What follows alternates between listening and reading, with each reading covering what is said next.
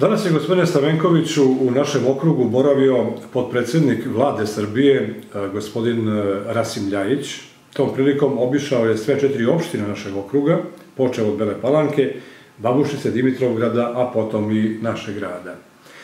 Boraveći u Babušnici, on je otvorio gerontološko odeljenje i posjetio dom zdravlja. Evo da čujemo tom prilikom o čemu se razgovaralo, kako je reagovao ministar Ljajić kada je posjetio Babušnicu. Pa na naše veliko zadovoljstvo danas e, opštinu Babušnicu, odnosno Dom zdravlja, je posjetio ministar, gospodin Rasim Ljajić, i tom prilikom smo otvorili gerontološko odolenje koje unazad 2013. godine su izvodeni radovi i niz aktivnosti da bi eto danas e, i bio taj svečani čin otvaranja tog odeljenja. E, odnosno prihvatilište ili doma za stare, kako kaže, odnosno penzioneri, sva ona lica koji imaju potrebe za tim vrstom usluga koje će to odeljenje da pruši. Samo da posjetim, znači tu se radi o prekograničnom projektu gde je opština Babošnica upravo današnjim danom završila taj, sve, te, sve projektne aktivnosti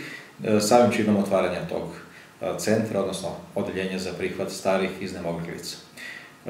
Opština Babošnica je izuzetno preko potrebna jedna takva institucija, pre svega ljudima koji će primati te usluge, zato što sama opština ima 52 sela, svi znamo da imamo dosta sela i naselja koje su dosta udaljena od same opštine i naročito u ovim zimskim uslovima, pa boga mi sad u zadnje vreme preko leta, imaju jako puno tih, da kažem, ljudi, pre svega stari ljudi, potrebe kada dođu i kada se pregledaju,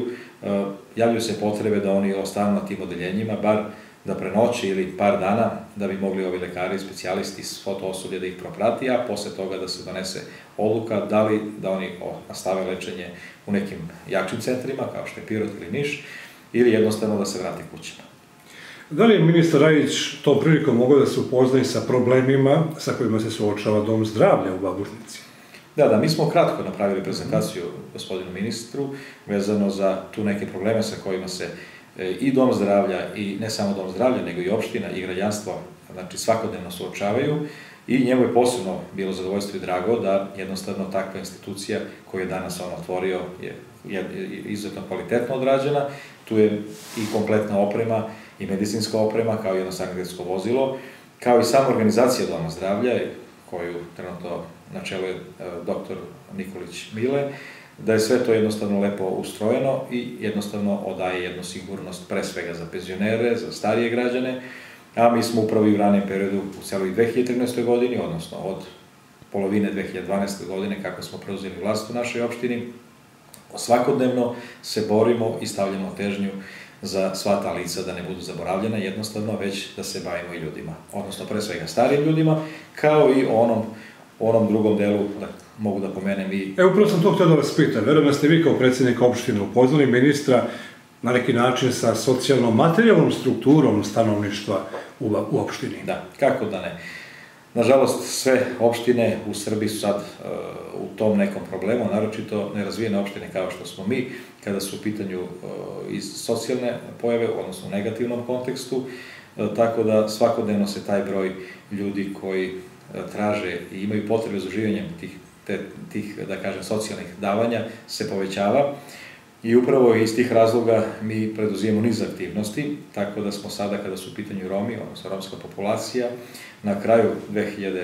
2013. godine izdvojili, bukvalno u zadnjoj nedelji meseca decembra, negde oko 4 miliona i nešto i aplicirali u jednom izuzetno humanom projektu od strane Skumenske jedne organizacije iz Novog Sada, koja nam je, zahvaljujući tim našim sredstvima izdvojila još dodatih nekih 12 miliona i nešto. Tako da sada,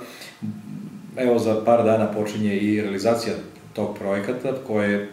čija je vrednost negde oko 17 miliona, a upravo će biti sve to, uh, uh, taj novac utrošen na pružanje boljeg uslova stanovanja i življenja i romske populacije, kao i druge neromske populacije, koje će biti uh, komisijski od strane